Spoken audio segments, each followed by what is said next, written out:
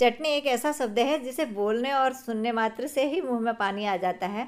अगर यह थाली में अवेलेबल हो तो भोजन की थाली का जायका और ज़्यादा दुगना बढ़ जाता है। नमस्कार दोस्तों, जय माता दी। कैसे हैं आप सभी लोग? उम्मीद करती हूँ आप सभी लोग जहाँ भी होंगे, स्वस्थ होंगे, मस्त होंगे, प्रसन्न होंगे। तो दोस्तों, आज लेकर के आई हूँ मैं चटनी की एक ऐसी रेसिपी जो आपको खाने में तो टेस्टी लगेगी ही, बनाने में बहुत ईजी है और साथ में इसके स्वास्थ्यवर्धक गुण बहुत ज़्यादा हैं। तो आप बने रहिएगा वीडियो में। बस छोटा सा वीडियो है, इसे आप स्किप मत कीजिएगा। इसके लिए सबसे पहले ले लिया है मैंने एक टमाटर, जिसे उबाल लिया है। इसको इतना उबालना है कि टमाटर सॉफ्ट हो उसके बाद ली है मैंने पालक की पत्तियाँ और साथ में तुलसी की पत्तियाँ। तुलसी मरवा वाली तुलसी मेरे पास है तो आपके पास जो भी अवेलेबल हो उसे डालिएगा। इन हरी पत्तियों को मैंने अच्छी तरह से धो करके रख लिया है, क्योंकि हरी सब्ज़ी में कीटाणु होते हैं, छोटे कीड़े पाए जाते हैं तो अच्छी तरह साफ़ करना बहुत ज़रूरी है, नहीं तो ये हार्मफुल भी हो सकता है। और उसके बाद मैंने जो टमाटर का बचा हुआ पानी है गर्म, उसी में इन पत्तियों को डाल दिया है। अब इसे एक हल्का सा उबाल दिला देते हैं, ज़्यादा उबालने की कोई आवश्यकता नहीं है।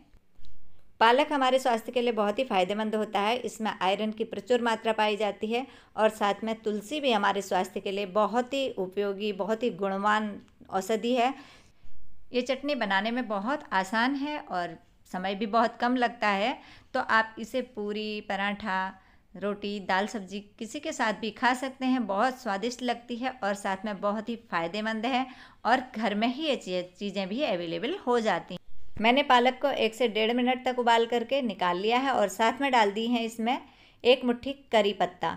करी पत्ता भी हमारे स्वास्थ्य के लिए बहुत ही फ़ायदेमंद होता है, यह बालों के लिए विशेषकर फ़ायदेमंद होता है। अगर आप लोगों के बाल झड़ रहे हों तो इसे अपनी डाइट में अवश्य शामिल कीजिएगा।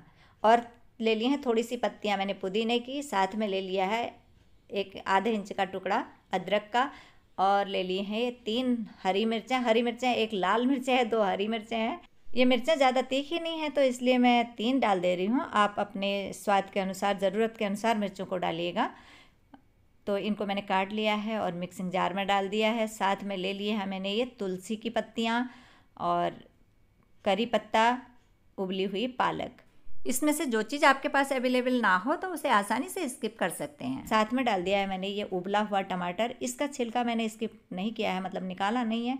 तो आप अपने स्वाद के अनुसार या जैसा आपको अच्छा लगे वो कीजिएगा।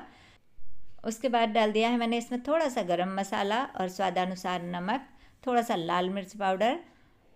और इसमें ज़्यादा कोई मसाले डालने की आवश्यकता नहीं है।